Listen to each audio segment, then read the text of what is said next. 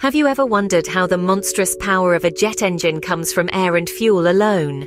Today we delve into the world of turbojet engines, the heart of modern aviation. These technological marvels with their roar and power propel us across skies and continents. But how do they work? What's the science behind turning simple air and fuel into a force that can lift tons of metal into the sky? Stay tuned as we unravel the mysteries of turbojet engines.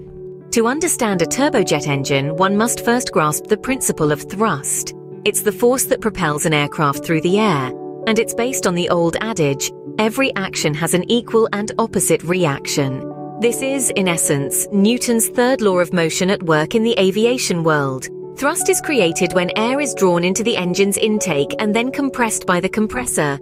This is where our first core component of the turbojet engine comes into play, the compressor, think of it as a series of fans, each one smaller and faster than the last.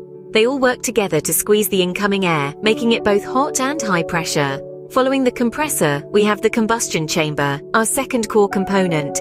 This is where the magic happens. Here, fuel is injected into the hot, high-pressure air and ignited.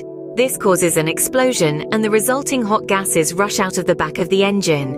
But before these gases escape, they pass through our third core component, the turbine. This part is a bit like a windmill, as it harnesses the energy of the fast-moving gases to drive the compressor at the front of the engine. Now that we understand the basic components, let's delve into the turbojet's working process.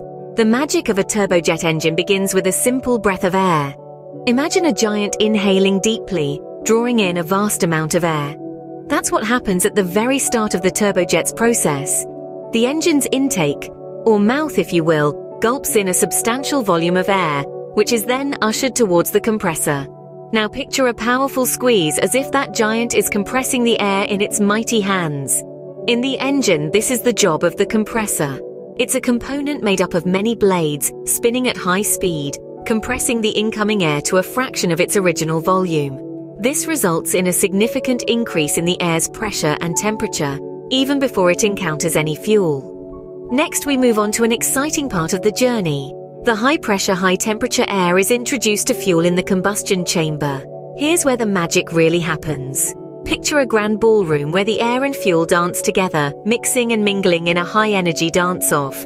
This combination of compressed air and fuel ignites, and a powerful combustion reaction occurs. The result is a high-pressure, high-temperature gas. And what does this gas do? It doesn't just sit around. It's thrust out through the engine's exhaust with an immense force, creating a powerful push or thrust that propels the engine and therefore the plane forward. Think of it as the engine taking a deep breath, holding it in and then releasing it with a mighty roar.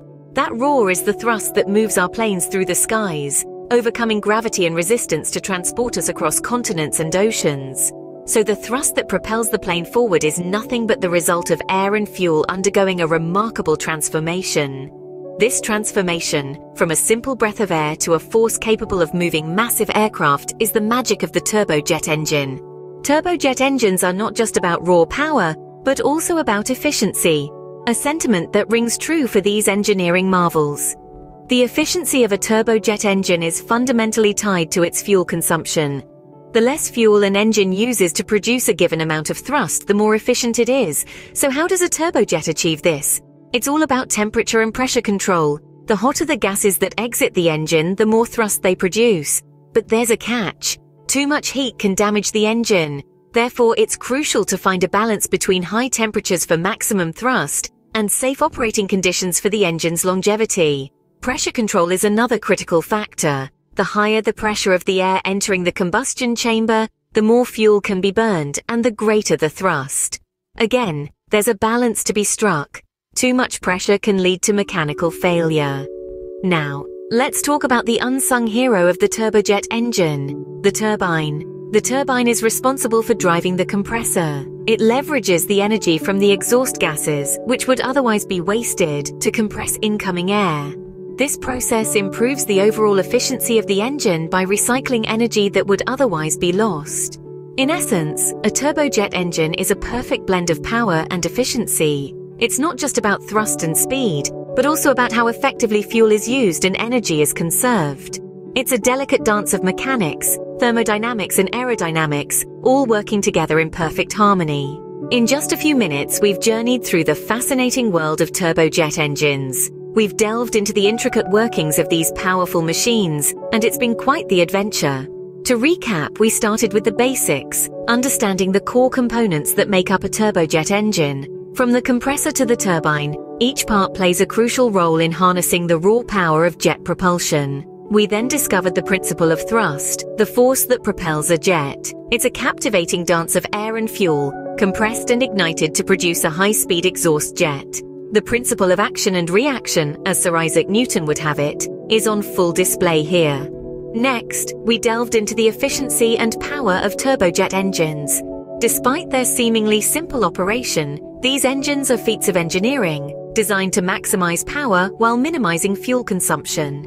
Their efficiency is a testament to the ingenuity and perseverance of engineers across the decades.